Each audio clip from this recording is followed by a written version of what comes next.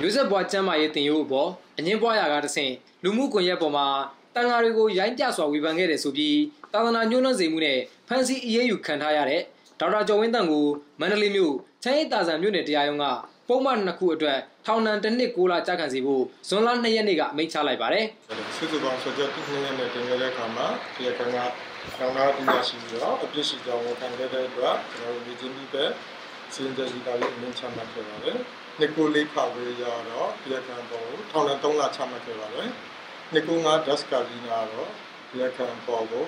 ထောင်ဒဏ်တစ်နှစ်နဲ့6လချမှတ်ခဲ့ပါတယ်။စုစုပေါင်းပြည်တယ်နည်းကိုဒီကြပြီးချမှတ်ခဲ့တဲ့အတွက်စုစုပေါင်းပြည်တယ်ကတော့တစ်နှစ်နဲ့9လဖြစ်ပါတယ်။ဒေါက်တာကျော်ဝင်းတန်ဟာပြီးခဲ့တဲ့မေ18ရက်နေ့ကသူ့ရဲ့ Facebook အကောင့်ကနေမျိုးဆက်ပွားကျမ်းမာရေးအသိပညာပေးပညာရေးကိုထောက်ခံကြောင်းဝေဖန်တဲ့စာသားများတင်ခဲ့ရမှာအဲ့ဒီပညာရေးကိုကန့်ကွက်နေကြတဲ့ တန်ဃာတွေကိုဝေဖန်ရမှာရိုင်းပြတဲ့စကားလုံးတွေထည့်သွင်းရေးသားခဲ့တာဖြစ်ပါတယ်။အဲဒီလိုရေးသားခဲ့တာနဲ့ပတ်သက်ပြီးဥကြဝင်းတန်ကိုယ်တိုင်နဲ့မိသားစုဝင်နှစ်ဦးတို့က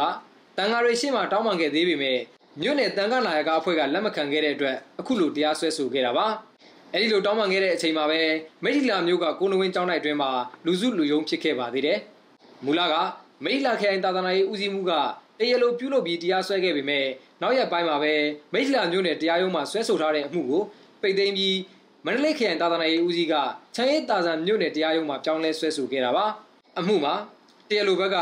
တပ်သစ်14ဦးထိတင်ပြခဲ့ပေမဲ့တရားရုံးကတပ်သစ်9ဦးကိုစစ်ဆေးခဲ့ပြီးလုံလောက်တဲ့အတွက်ပုံမှန်နှစ်ခုနဲ့ဆွဲချက်တင်ခဲ့ပြီးဆွဆွဲခံရသူကလည်းဝန်ခံခဲ့တဲ့အတွက်အမှုကိုစတင်စစ်ဆေးတဲ့အဲ့ဒီနေ့မှာပဲအမိန့်ချခဲ့တာပါ ဒေါက်တာကျော်ဝင်းတန်းရဲ့ပြောဆိုဝေဖန်မှုတချို့ဟာမှန်ကန်နေပြီးတန်ဃာတော်တွေနဲ့ပတ်သက်ပြီးဝေဖန်မှုတွေရှိဖို့လိုအပ်ကြောင်းဒါပေမဲ့ဝေဖန်တတ်ဖို့လိုကြောင်းမန္တလေးကမြောက်ဝတီကျောင်းတိုက်ဆရာတော်ကမိန့်ကြားခဲ့ပါတယ်